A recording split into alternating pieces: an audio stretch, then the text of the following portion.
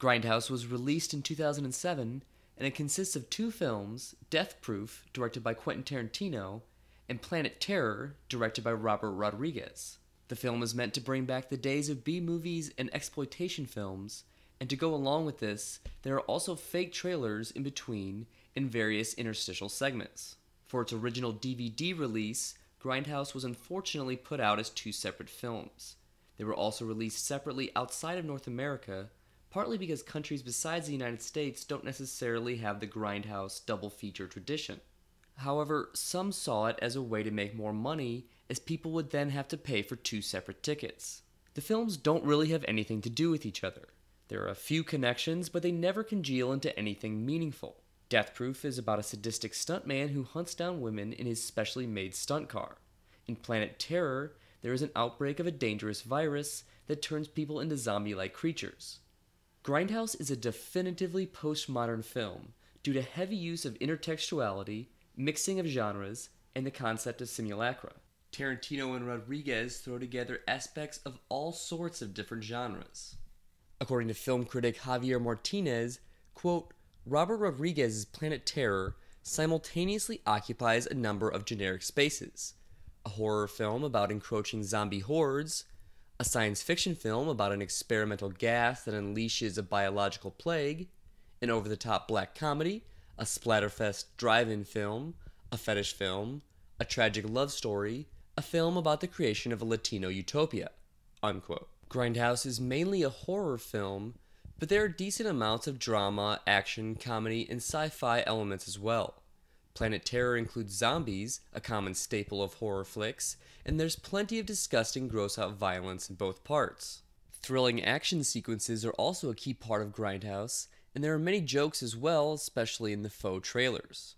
Planet Terror is at times intentionally bad, and this is played for laughs. The mixing of genres is a common technique in postmodernism, and Tarantino has been doing that his whole career, perhaps most clearly in Pulp Fiction, Kill Bill, and Inglourious Basterds.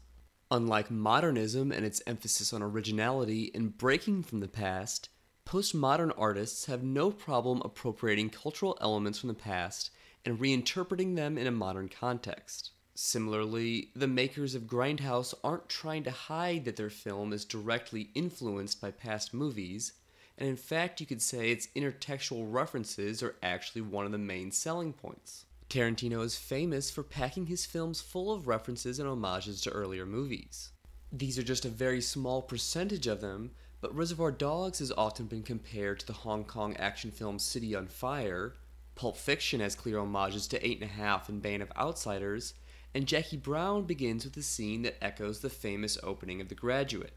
This came to an apex with Kill Bill Volumes 1 and 2, which reference literally dozens of movies from genres like westerns, martial arts, revenge, and horror, such as The Searchers, Citizen Kane, The Good, the Bad, and the Ugly, Lady Snowblood, Five Fingers of Death, and Uma Thurman even wears Bruce Lee's famous tracksuit from The Game of Death. Grindhouse is no different, as there are nods to movies like the original Gone in 60 Seconds from 1974, the 1968 Steve McQueen classic Bullitt, the 1971 film Vanishing Point, Lucio Fulci's Zombie 2, and many more, including some of Tarantino's and Rodriguez's own films. Grindhouse also has simulated film scratches and dust throughout, making the film seem like an actual Grindhouse feature that has been damaged from being shown too many times. This adds another layer of fiction as there is somewhat of a constructed world that the individual movies are made in. Unlike films that are simply set in the past, Grindhouse has a fictional conceit that it was produced a long time ago. Modernism valued authenticity, but Tarantino and Rodriguez deliberately made something inauthentic. Grindhouse is pretending to be something it's not. Postmodernists often do things like this that make the viewer or reader aware of the medium itself. For example, when David Foster Wallace fills his novels with endless footnotes, it makes you acutely aware of the conventions of books themselves. These and many other elements serve to constantly remind the audience that they are watching a film. This is in strong contrast to most movies that try to keep the viewer engrossed in the story and feel like they're in a fictional world.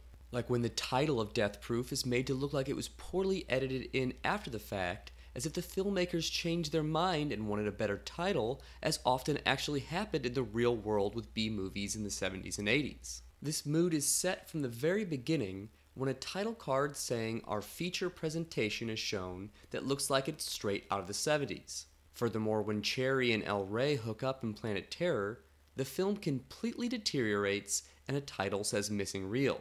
When things like that happen, it's hard to forget that one's watching a film. That's all for this video, thanks for watching.